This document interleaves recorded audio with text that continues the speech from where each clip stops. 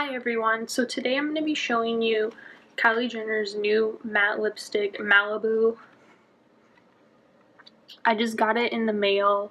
It is super pretty. Um, if you like exposed, you should really get this color. Okay, so this is what it looks like, the bottle.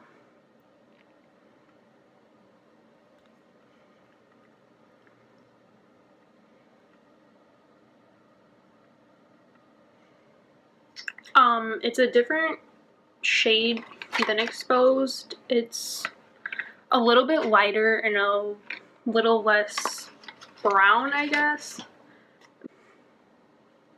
I'm gonna try it on. the lip liner is really light.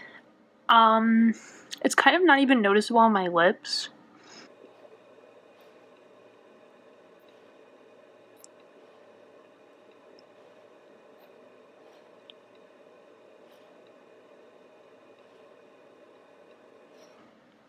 I would say that if she ever sells this without the lip liner, like the single mattes like she is now, you should, you could probably not even, you probably don't even need this.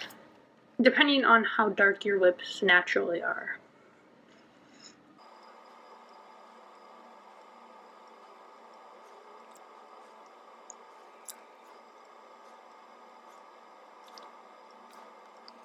Okay, so I'm gonna let this dry. Um, if you've never tried her lipsticks before, you should definitely because it it literally is the best matte lipstick I have ever used. I have other ones like I have Jeffree Star, I have Lime Crime. I've tried Too Faced. Uh, Jeffree Star is really good, but this one is really good. Like it barely comes off. Like when I I've worn it all day, ate, drink, whatever, barely comes off. Um, this is what it looks like.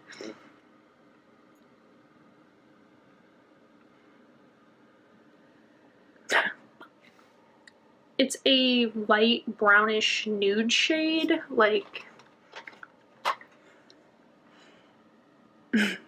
I really like it. Um, I would suggest buying it if you haven't. It's unlike any other shade I've seen before. Uh, yeah.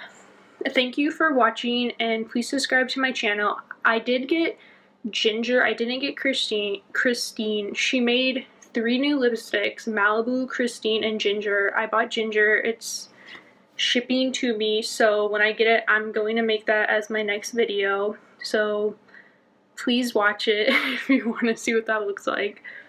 But this is a very beautiful shade.